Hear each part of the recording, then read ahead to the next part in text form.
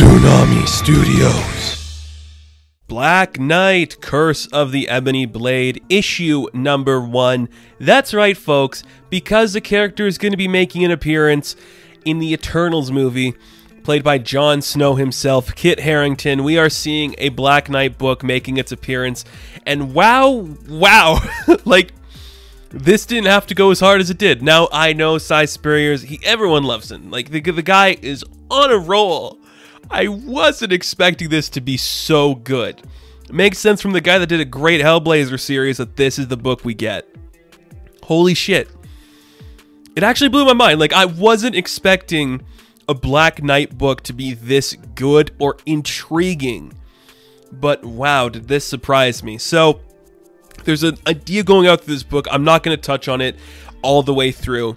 I'll bring it up at the beginning. This idea in place that Dane Whitman has been talking to this like listening AI that's supposed to be like a comfort thing for people grieving or having this therapy session, and he's basically talking about like why he's a hero and like why he does this stuff. Like he thinks the other heroes in the world don't like him or don't respect him, and we'll get into that in a bit here and because like the only way for him to get stronger is to get like more hateful and angry not in terms of like the hulk where you're growing more powerful if you're anger but you have to be like hated and hate everything and be this terrible person and he doesn't like that so he becomes like this facade of himself and this person that isn't really really him and it's kind of like a mask he wears to wear a mask you're like what I wasn't expecting that from a Black Knight book, but here we are. Here's some crazy shit happening in a Black Knight book. So this story is basically the Avengers are fighting these weird creatures that can come back from like regenerative abilities and all this stuff, and they they're kind of losing the battle. And there's only one person that could come in to help them, and it's Black Knight. But of course, none of them really want Black Knight to help because Black Knight sucks according to all these people. So he's just like having fun, taking everything down, talking old timey, and doing all this great stuff. And everyone's like, "This this guy." Why, why are you doing this? Thor's like, are you making fun of me, like with all the thys and these and everything? He's like, nah, dude, it's just how I do things. So we slice him through. He's having a great time, and everyone's like, this guy's a little bit like eccentric, more like annoying, more like troubling. You're like, oh, really breaking my heart here. And it's pretty cool because they're just like, we need him because he does the thing that people don't really understand. But Thor's like, I could do it fine. So Thor tries to pick up the ebony blade, but it doesn't work. And he's kind of getting pissed, like, why can't I lift your sword? I'm better than you in every regards of the word. You are just a pale imitation of me, is pretty much what Black Knight is. He's like, huh, Thunderer, you mistook something for something else. And the only reason you cannot lift it is because it can only be lightened by shadow. And it's like, you have to be hate and terrible and a bad person to use it, and you're pure as might all the way around. It's like the opposite of Mjolnir, and you're like, what? That's cool. I mean, I know enough about the Black Knight where I could probably hold my own in a conversation about the character, but to say I know every interpretation, every storyline, I don't. This is great. This is cool. I, I I didn't have that idea. It's like it's gonna be powered by hate, and the ebony blade like uses like the the hate to fuel itself. You're like, that's pretty cool. That's great. It was just so fun. So everyone's like, good job, Dane. I guess you did good here. We like you a little bit more because of it. And we see that this is like happening after the events of him talking to listener. He also says that he's when he's talking to listener, like I'm gonna meet like a like a academic type. Like she's somebody that like studied ancient history and like Arthurian legends and stuff. So I'm gonna ask her about the blade. Like she's not like a therapist. She's just somebody that might like might be able to tell me who I am, what my place in this world is supposed to be, like what's going on with me. Maybe she'll be able to answer that question for me. And we see that while he's talking to the listener, he gets the call, like the alert from the Avengers as to why they need him to come down. He's like, "Oh, cool! The Avengers are asking for me specifically. I gotta go, computer that I'm just talking to. I gotta go. Goodbye. I, like, I, I gotta go." So he's very excited. He's just having fun when he's with the Avengers. He's just talking to Cap, like, "Yeah, we should get some drinks after this. Like, go go out to a place. I know it's a great place. Like, it's 10 a.m., dude." He's like, "Fine, we'll just have a beer and all that stuff." It's very cool. So there's like kicking ass and like these things keep regenerating. They're like, we're gonna have to like destroy this on a molecular level, and that's why they called Dane. And he's like, what? You guys, you guys didn't call me because you wanted to like hang out?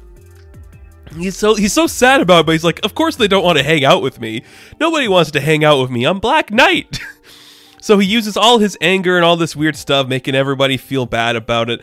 And no one's making eye contact with him, so he does his weird power up, destroys all the beings, and it looks really cool. It is such a fun thing to see, like a full Super Saiyan looking Black Knight, destroys them on a molecular level. Very cool to see.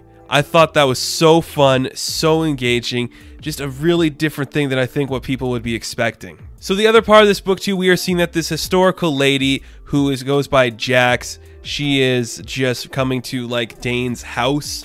It's a giant castle, of course, because what else would it be? Dane's just one of those guys, right? So she's just like, okay, that's weird and I I, re- I forgot something before we did that. So she goes to investigate Dane's house, but before that, we see that this like weird character who like whispers things comes to like attack the Avengers, and he's taking them all down, and like they're just like stuck with something they can't do. It's like old magic, and because Dane has experience of old magic, he's like, you can't stop me. But you know what does stop him? A blade to the head, and he gets decapitated, and the Avengers are like, oh my god, he died. He just literally died right in front of us. I forgot about that scene. I'm like, yeah, because it comes crucial later on. Dane just died in front of the Avengers from like some old timey, like magical wizard dude who was whispering secrets that broke the Avengers. That's creepy. So we see the Jax is like walking through stuff. It's like this guy's really weird. What troubles does this lunatic have that can't be solved with all his money? His butler's like, well, you, don't really know it. Like he's been through a lot. So he's like, we're gonna have to like postpone your meeting with Dane because something's happened. She's like, oh come on, what did he? What could possibly happen to Dane that would like stop me from meeting him? It's like, oh, he died. Oh, shit. Okay, I guess I guess can't meet him. But she was kind of only here. She doesn't give a shit about Dane Whitman. She's like, I want to see the Ebony Blade. Can I please touch it? Like, no, you can't touch it. So when she does, she gets like sent back to like this weird, like idea of the history of the blade. She's like seeing like its creation while it's being forged, and this like weird raven or dove thing is talking to her. You're like, this is really cool, very fun. It's like a great way to like show the history to the world like at large in your audience without them like feeling like it's pandering you know like you don't you don't know black knight. Here you go. They forged it years ago. There's been different interpretations of the character. It's a very scary weapon very intense and it's camelot baby. Camelot baby. Oh it's so cool I was not expecting this to be as fun as it was. So we see that like Jax, she wakes up, she's like, what the hell did I just see? And as she's doing that, the ebony blade is like coming to life in this weird way on Dane's corpse. And it's like consuming him with like this weird blood. And like the butler and Jax are like, what's going on? And we see that like suddenly Dane stands up like, hi, you must be like the lady who's like knows history. I have some questions. And she's like, uh, oh, uh, it's so good. A Black Knight comic book is good and weird and interesting and intricate and thought out. And somebody really did their research on the character and tried to make this cool. Like, really weird. It's so weird how good this was. I was not expecting the Black Knight book to be this impressive, this interesting, this creative, this emotionally satisfying. I really liked it. Like the relationship that Dane has with the Avengers, how he's wearing a mask to put on his mask so people don't actually know who he is or how he feels, how he constantly lies to himself, how the other heroes in the world don't care for him, how he's just kind of like a weapon used to do certain things, and how his history is so complicated that you can't even explain it. It's really good. It's really good. I love it. I'm just blown away that we're having this book exist because it's so intricate and detailed. I love that we're going to this area of the Marvel universe again, like the Arthurian legend, like the weird, like eh, like Shakespearean feeling storytelling where everything's so over the top and dramatic. It is so unique and fun. I loved this book. It's going to make you like this character. Si Spurrier continues to impress with everything he does.